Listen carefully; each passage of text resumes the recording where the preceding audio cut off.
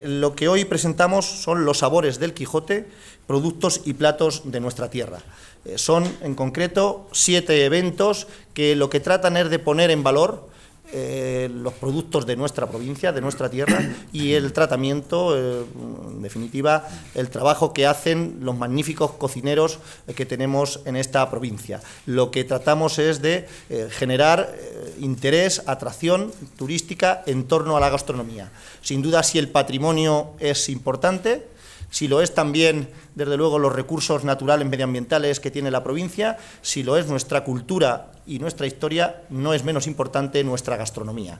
Y por eso hemos querido lanzar estos eventos, siete a lo largo del territorio, para seguir vinculándonos con un objetivo que es atraer nuevos visitantes y sin duda eh, relacionándonos con la figura del Quijote que está plenamente ligado con, con La Mancha.